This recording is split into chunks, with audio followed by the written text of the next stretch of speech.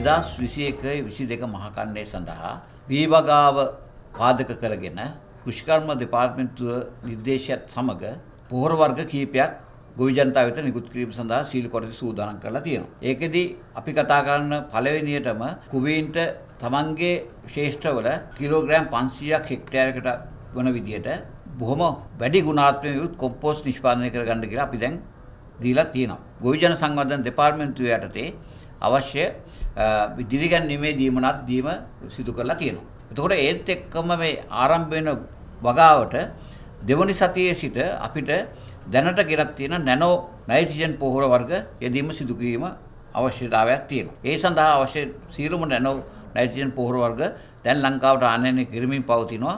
ඒ නිසා අපිට දැන් මේ අම්පාර දිස්ත්‍රික්කයේ සිට ඉතුරු සියලුම පළාත්වලට මේ නැනෝ නයිට්‍රජන් ලබා දීම සිදු කරගෙන යනවා. එතන සමහර දේශීය සමාගම් වලින් සම්පූර්ණ පැකේජයක් හැටියට වගාව සම්පූර්ණ වගාව සඳහා අවශ්‍ය කාබනික ඝන පොහොර, කාබනික තියර පොහොර වර්ග සැපයීම සිදු කරලා තියෙනවා. ඒවා ගොවිජන සේවා බල ප්‍රදේශවලට නිකුත් කරලා තියෙනවා. ඒ එක්කම දැන් පොටෑසියම් ක්ලෝරයිඩ් ස්වභාවික ఖනිජයක් හැටියට ගෙන අපේ මේ පොහොරත් ගොවිජන සේවා මධ්‍යස්ථාන හරහා ලබා දීම සඳහා නිකුත් කරලා තියෙනවා. එතකොට මේ පොහොර වර්ග භාවිතා කරන්න වෙන්නේ සති 4න් සහ සති 6න්. ඒ සඳහාත් අපි අවශ්‍යතාවය මත නිර්දේශ ලබා දීලා තියෙනවා. අපේ කෘෂිකර්ම උපදේශකවරුන්ගෙන් ඒ සඳහා අවශ්‍ය මඟ පෙන්වීම නිර්දේශය ලබා ගැනීමට සියලුම අපේ රටේ ඉන්න ගොවි ජනතාවට හැකියාව තියෙනවා. ඒ නිසා මේ අපි ලබා දෙන නයිට්‍රජන් පොහොර වර්ගය ඒකම පොටෑසියම් පොහොර වර්ගය සමග මේ විවගාවේ වැඩ කටයුතු කරගෙන යන්න